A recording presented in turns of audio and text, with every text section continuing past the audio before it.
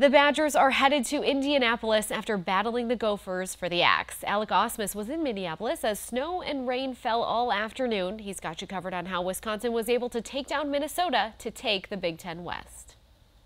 Weather-wise, it was an all-time classic for one of the oldest rivalries in college football. And per tradition, the goalposts were chopped down after the game. But more importantly, the Badgers are bringing Paul Bunyan's axe back to Madison after a 21 point win over number 8 Minnesota.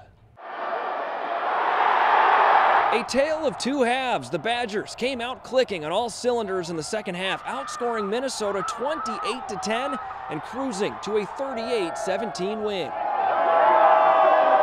Came up here with one purpose, and that was to to win this game and, and bring the axe back home. And uh, it took a lot of people, and uh, I thought all three phases obviously had a big hand in it, and thought they did a great job of, of being resilient and just continuing to play.